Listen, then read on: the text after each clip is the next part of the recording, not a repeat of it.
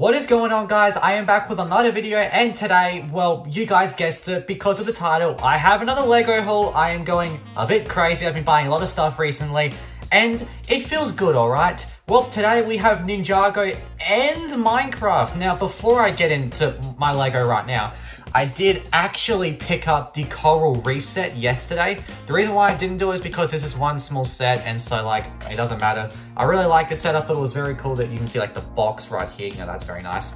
But let's just get into the actual sets we have now. So the first set I'm to show is Ninjago because I got more Minecraft than Ninjago. So the first set is the Overlord Dragon.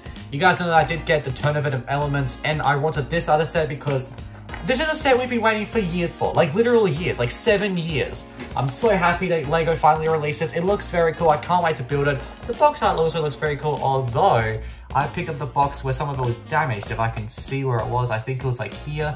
Yeah, some like white strips, and you can see the top is a bit, uh, not as good as it could have been, but doesn't matter. I'm probably much not going to keep the box, so happy with this set. And then we have our Minecraft set. So first up, we got the trading post. Um, I really like this one. It's a bit small. I mean, it, it really is, but like I really do, I really do like it. The llamas look really cool. And it seems like I also got the set that had a bit of. It looks like someone had pen on here, but then didn't use ink. Like, you can see like a little line here, I'm pretty sure. I don't know. But I like this set. I think it's very cool. And then the final set that I have is the bee farm. Yes, the Lego Minecraft bee farm.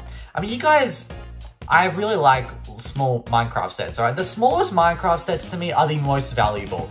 Like the Coral Reef set, if I can get it here, like I've already built it. Like that's all of it, that's all of it. It's so rewarding, get some nice bright colors, good minifigures, and then the pufferfish. Like it's so rewarding in this like $10 set. And then with the bee farm and trading post, I mean, it's even more rewarding.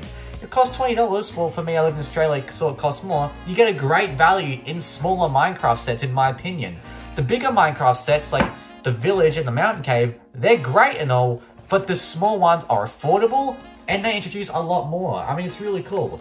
I was opting to get that pig house, but I didn't really think I needed the pig house, and it wasn't too impressive to me. Like, I like that set, I think it's very cool. The next time Minecraft or Ninjago sets come out, I'll definitely rank them. But yes, this is the Lego that I have right now. I can't wait to build these. So like, comment, and subscribe to my channel, and I will see you guys next time.